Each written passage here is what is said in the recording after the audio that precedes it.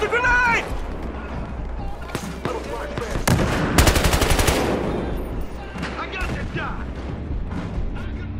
Wow, look at that. That was funny.